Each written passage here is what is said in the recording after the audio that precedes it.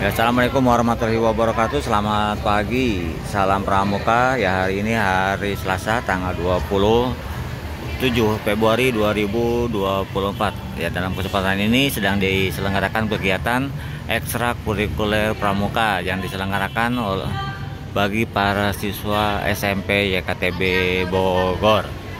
Ya kegiatan ekskul ini selalu diselenggarakan setiap hari Selasa bagi siswa SMP YKTB Bogor sebagai informasi, SMP YKTB Bogor terletak di Jalan Dr. Semeru nomor 42 Kota Bogor. Pada kegiatan ini dihususkan bagi siswa dan siswi SMP YKTB Bogor. Nah, ini di barisan putrinya juga sudah banyak yang sudah mengadakan latihan.